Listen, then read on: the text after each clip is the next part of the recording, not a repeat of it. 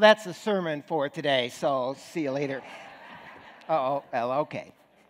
Actually, I can't possibly do any better than that. And if one or two of those quotes uh, was something you remember, I do know that you'll leave this place with a, a new sense of prayer. We've been talking about the last couple weeks meeting the real God in prayer, and we've been this summer taking a look at different people that meet God and sometimes the messy times of their lives. And last week we looked at how God was met by a man by the name of Abraham. Today we're going to take a look at how God meets his wife Sarah. And so we're going to be again looking at chapter 18 of the Genesis book of Genesis. Let me read it the section for you today. So the Lord appeared to Abraham near the great trees of Mamre while he was sitting at the entrance of his tent in the heat of the day. Abraham looked up and saw three men standing nearby. And when he saw them, he hurried to the entrance of his tent to meet them and bowed down to the ground. He said, If I have found favor in your eyes, my Lord, do not pass your servant by. Let a little water be brought, and then you may all wash your feet and rest under this tree. And then let me get you something to eat so that you can be refreshed, and then go on your way now that you have come to your servant. Very well, they answered, do as you say. So Abraham hurried into the tent to Sarah. Quick, he said, get three seahs of the finest grain and knead it and bake some bread. Then he ran to the herd and selected a choice, tender calf and gave it to a servant so, who hurried to prepare it. He brought them some curds and milk and the calf that had been prepared and set these before them. And while they ate, he stood near them under a tree. Where is your wife Sarah? They asked him. There in the tent, he said. Then one of them said, I will surely return to you about this time next year, and Sarah, your wife, will have a son. Now, Sarah was listening at the entrance of the tent, which was behind him. Abraham and Sarah had, were already very old, and Sarah was past the age of childbearing. So Sarah laughed to herself as she thought, Am I, after I am worn out and my Lord is old, will I now have this pleasure? Then the Lord said to Abraham, Why did Sarah laugh and say, Will I really have a child now that I am old? Is anything too hard for the Lord? I will return to you at the appointed time next year, and Sarah will have a son. Sarah was afraid, so she lied and said, I did not laugh. But he said, Yes, you did laugh. So last week we took a look at Abraham's conversation with these three strangers on that fateful day, and we learned some things about how we can approach God in prayer from the pattern of Abraham this week, uh, last week. This week, I want us to consider how Sarah gives us a sense of how to respond in prayer as we look at her mysterious um, encounter with these three guests that day. Now, we might be tempted when we first look at the story to consider that uh, they arrive at the tent and that everyone immediately understands, Abraham and Sarah immediately understand who it is that these three are. And that's the reason why, by the way, they hurried from the entrance of the tent. That's why Abraham met them and bowed low. That's the reason why, in verse 3, he says, If I found favor in your eyes, my Lord, don't pass your servant by.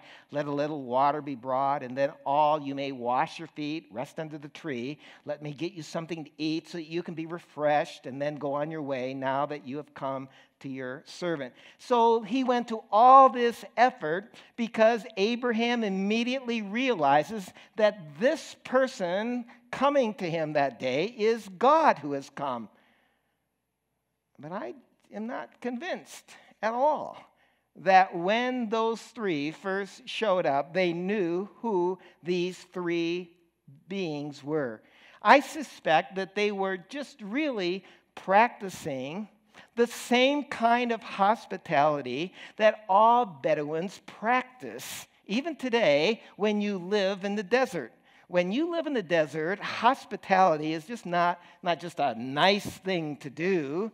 Hospitality is a matter of life and death. Hospitality is essential to surviving if you live in a desert. So I don't really think they knew who these three were at the beginning. In fact, Hebrews 13 says as much as well. Listen, Paul, ref- the book of Hebrews reflects back.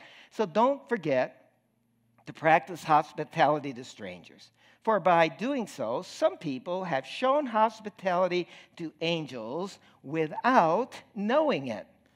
And so Abraham and Sarah are not showing hospitality here because they realize at the get go that these are divine beings. In fact, when you read the passage closely, you discover that it's not until verse 10 that they really discover who these three are. Before that, there's really no indication of their identity. When they first speak, that's back in verse 5 at the end, very well, they answered, do as you say. Verse 9, where is your wife Sarah? They asked. It's not until verse 10 that we're told that one of them speaks, and it's not until verse 13 we're finally told who that one actually is. Then the Lord, verse 13, said to Abraham. And so, one of the things this whole mystery and surprise of this encounter reminds us of is that when God comes to us, he often catches us by surprise. We don't always know immediately that it's Him who is speaking. We don't always realize immediately that this is the moment He wants to come to us. Sometimes we're pretty sure that if we just, you know, open our Bible in the morning, grab a cup of coffee, and just be quiet for a minute, immediately God will come to us. And often He will. But that's not the only time. In fact, many times the most deeply powerful moments of encounters with God don't happen when you're sitting in your favorite chair in the uh, living room. Sometimes it's in that moment when you've lost someone and and you're in such desperation that you don't know where else to go, that's when he meets you. You're surprised by it. I'm always struck by that psalm in which the psalmist says, If I make my way to heaven, there you are. If I find myself in hell, there you are. See, now it's not surprising to meet God when you have a heavenly moment in life. The surprise is when you find yourself in hell and you turn around and discover that even there he is there. And that's what we discover that so often he meets us in those surprising moments. He catches us by surprise. And so when you think about meeting God, don't limit those moments to times that are predictable for you. Be open to allowing Him to come to you at all kinds of different moments along the way. Now, it had been some time earlier, years earlier, in fact, that God had first come to Abraham and had given him a promise that one day, God had said, you're going to have a son, and that son will bring forth a great nation, and from that great nation will come a Savior. And so God had said to Abraham years earlier, I'm going to save the world through your family, so Abraham, get ready. Now, almost certainly, when God came to Abraham way back then, that Abraham had told his wife Sarah what had occurred, but it's unlikely, I suspect, that he had told really anybody else.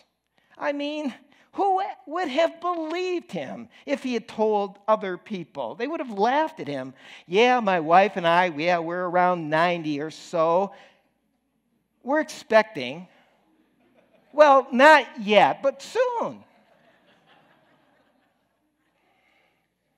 I think probably Abraham kept it to himself, he and Sarah. And yet, when this stranger shows up, verse 10, he says, I will surely return to you about this time next year. Sarah will, your wife, will have a son. Now, can you imagine Abraham's knees weakening as he hears this stranger say these words and then suddenly realize that the only other person anywhere who could possibly know about this promise that was made to him so many years before was the one who had made the promise himself. This could only be the one who had been the promise maker. God had come to him back then. But now God comes again. Now, this time, he doesn't just come to Abraham.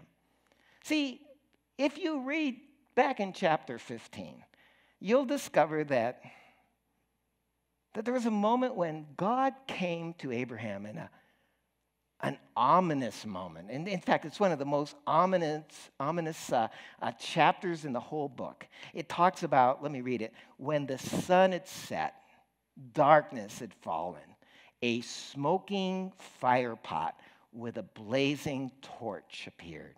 And that was the presence of God making this covenant with Abraham. In the darkness, in the dread of night.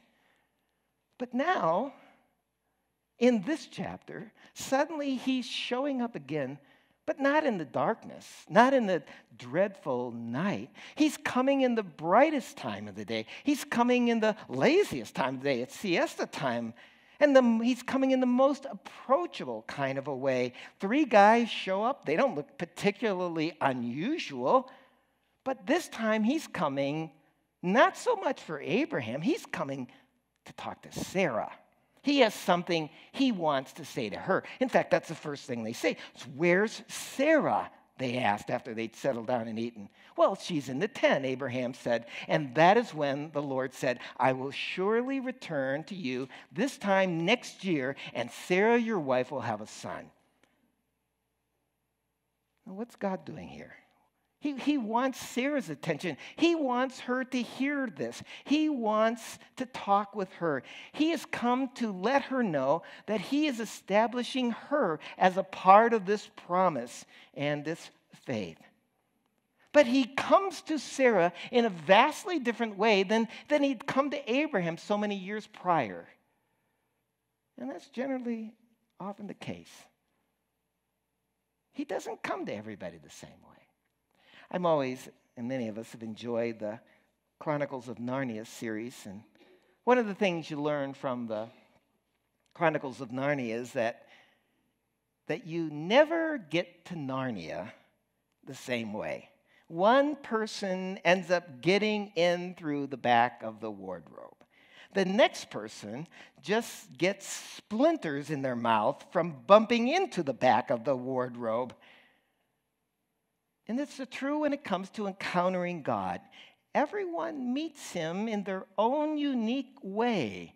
Abraham had first met him in the thick darkness of chapter 15, a burning fire pot, a, a dread gloom it speaks about. But now, when he comes to Sarah, he comes in the most gentle of ways in the afternoon, lazy time of the siesta. And so that's the second thing I'll suggest about when God comes to us. He meets each of us in different ways. Verse 10 Then one of them said, I will surely return to you about this time next year, and Sarah, your wife, will have a son. Now, Sarah was listening at the entrance of the tent, which was behind him. Sarah and Abraham and Sarah were already very old. Sarah was past the age of childbearing.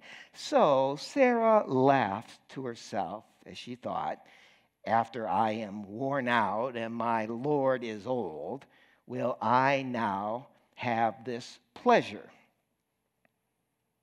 What's this pleasure she's speaking about? Well, remember, she's not saying these words out loud, she's thinking them. So, what is this pleasure she's referring to? Well, we might think the pleasure is she's old, she's well past her childbearing years, and she's wondering if she might just have this pleasure of having a son at this age. It's not a bad conjecture, it's just not what that word pleasure means. The word pleasure here is the word for sexual pleasure. Sarah is thinking, well, Abraham and I, we're not even sleeping together anymore. Now, the reason they're not sleeping together is not only because they're in their 90s, it's clear when you read Genesis 16 that Sarah's infertility had led to, led to this great sense of tension and estrangement between the two of them. Abraham, a man of his time, was deeply, had to have been deeply disappointed that Sarah was still childless. Because in that culture, a, ch- a person, a woman's childbearing ability was really everything. A, a woman's children were her worth. A woman's children were her reputation, were her honor, were her pension plan. Your ability to bear kids was everything in that day for a woman. Of course, he never thought about it being a man's fault. So the woman is the one who, at this moment, if she can't have children, was the focus of distress and disgrace by everyone. Now, we're going to learn more about this in a couple weeks when we talk about Hagar and how all of that transpires. But being childless in this time was such a source of shame and disappointment. And because of that, there had been this great distance between the two of them. The lack of sexual intimacy is not just a matter of their age, there's a distance between the two of them for years now, and it's a distance in more ways than just one. But now God comes to Sarah that afternoon and says, I'm going to give you a miracle child. But he doesn't say, but it's going to be apart from sexual activity, so you just sit tight, would you? I mean, God could have done that. God could have just miraculously given this child to Sarah without any sexual involvement and activity. I mean, he will do that, won't he? A couple thousand years later with another, a young virgin this time. But this promised child to Abraham and Sarah was not going to be immaculately conceived. That's not what's happening here. God shows up that day. But he shows up not only to prepare them for this child, he also shows up to bring healing to this marriage, this intimacy that they have long since given up on. Apparently, that healing happened because within the next year, the whole debacle between Hagar and Ishmael and how that had broken their marriage had been healed. And not too long after that, Sarah brings forth this son, Isaac. Because again, God came to not just prepare them for this child, but also to repair their relationship. One year from now, God says to them, There's going to be a child born between the two of you. So don't just sit back and wait. Get busy. When God comes to us, here's the second, third blank, He expects us to respond. When God comes to you, He, he expects you to respond. He's not going to do all of it, He expects you to respond.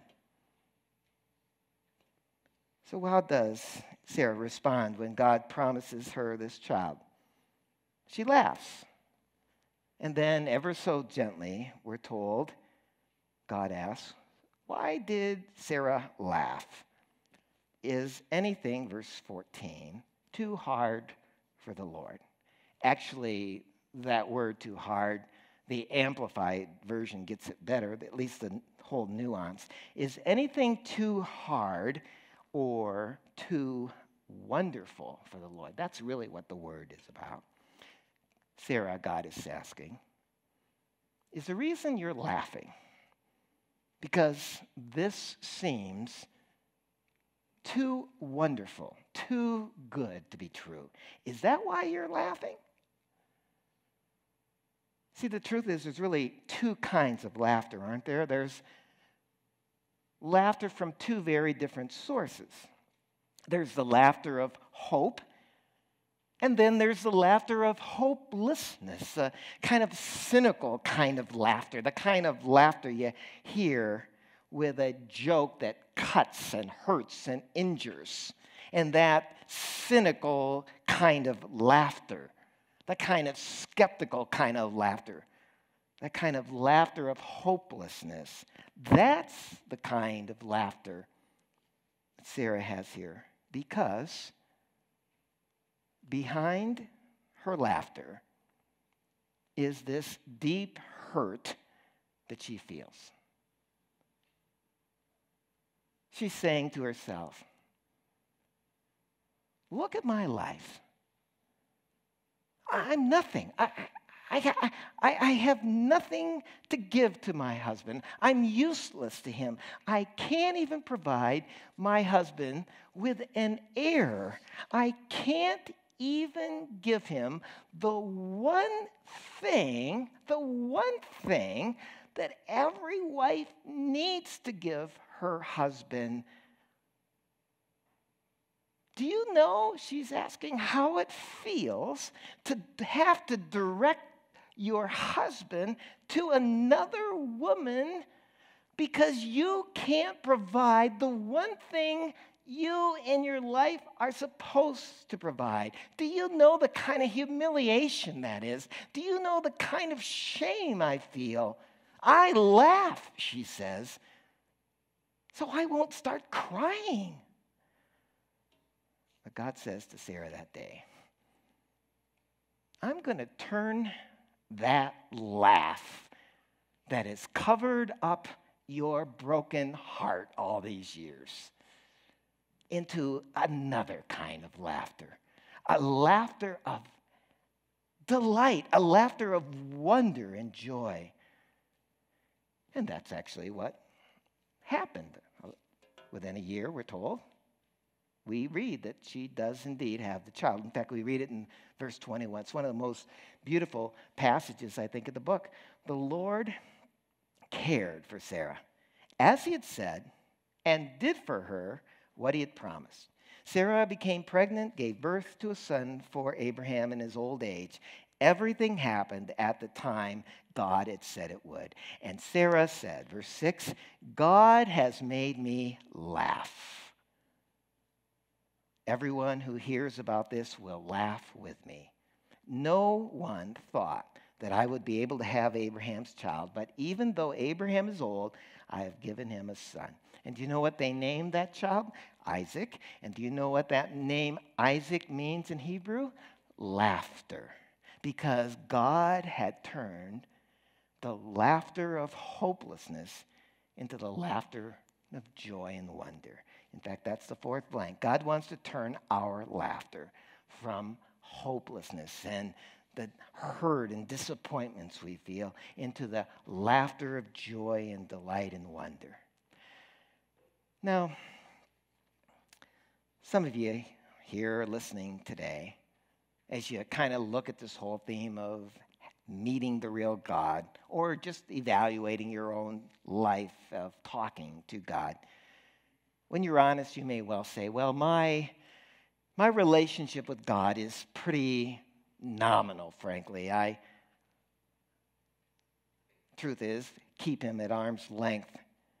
And the reason I keep him at arm's length is well, this is all too hard to swallow. This whole thing of faith is just too hard to believe. But what I'm struck by is the fact, C.S. Lewis once said it, the problem most people have with Christianity is not that it's too hard to believe.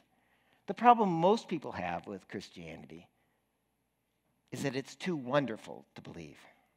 That we're like children and we are spending our summer afternoons in a mud puddle making mud pies and pulling our truck out and filling it with mud, thinking, well, this is kind of what life's supposed to be. We're filled with dirt and covered with mud, and that's just what life's about.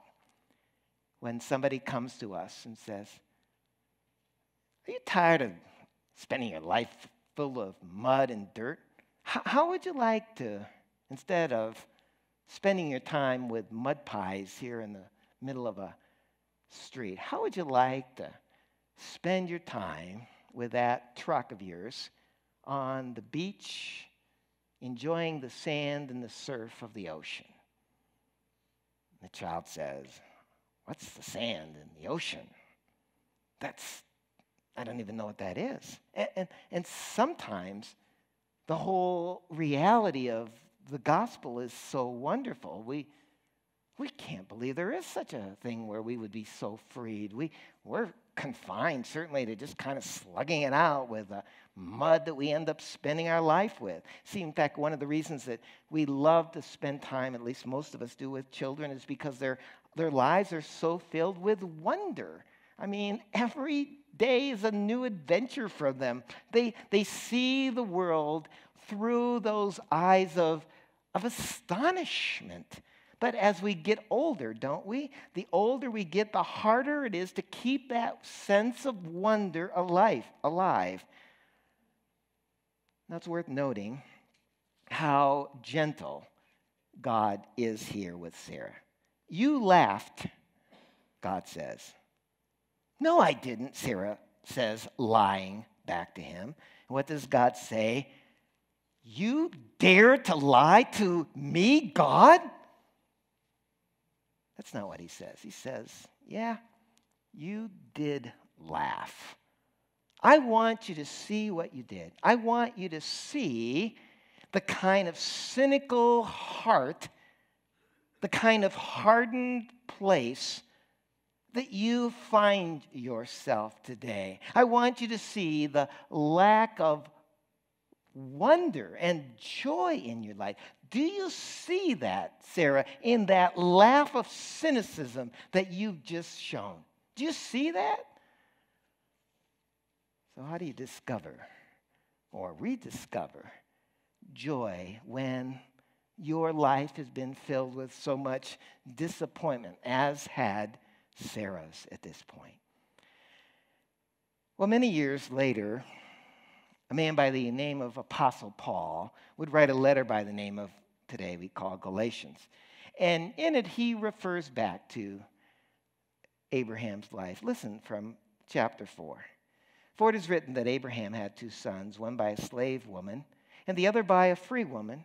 His son by the slave woman was born according to the flesh, but his son by the free woman was born as a result of a divine promise. For it's written, Be glad, barren woman you who never bore a child, shout for joy and cry aloud. You who were never in labor, because more are the children of the desolate woman than of her who has a husband.